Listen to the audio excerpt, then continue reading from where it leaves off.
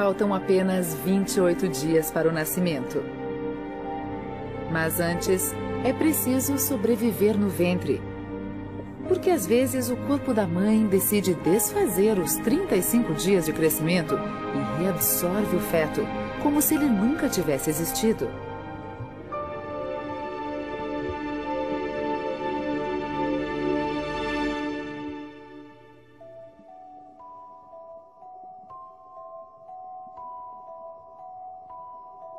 Na segunda metade da gestação, o desenvolvimento é acelerado. Dentro de quatro semanas, os filhotes serão animais bem distintos, se sobreviverem.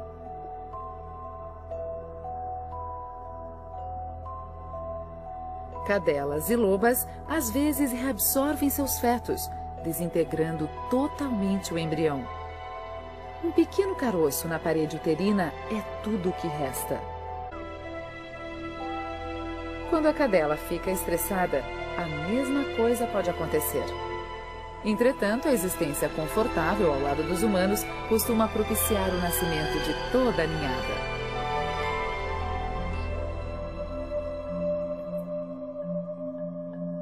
Com 36 dias, o perigo passou.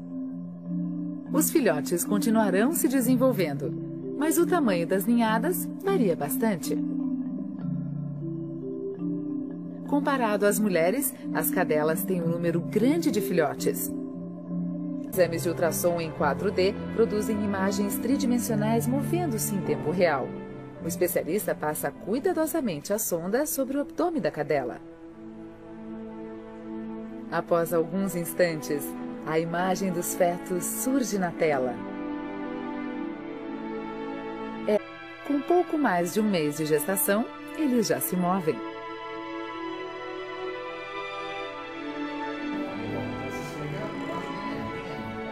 De fora, eles também praticam outro aspecto familiar do comportamento canino, arfar. Cães não suam como os humanos, por esse motivo, eles usam a respiração para resfriar o corpo. No útero, os filhotes praticam alguns comportamentos meses antes de serem necessários. Isso ajuda a reforçar as conexões nervosas no cérebro, além de estimular o crescimento dos músculos das pernas e da mandíbula.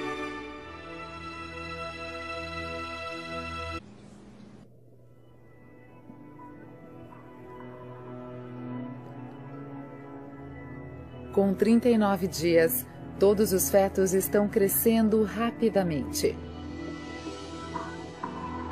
Nos próximos 24 dias, ocorrerão mudanças fundamentais. As orelhas e os narizes crescerão, o formato dos corpos mudará. E, finalmente, se tudo der certo, eles nascerão.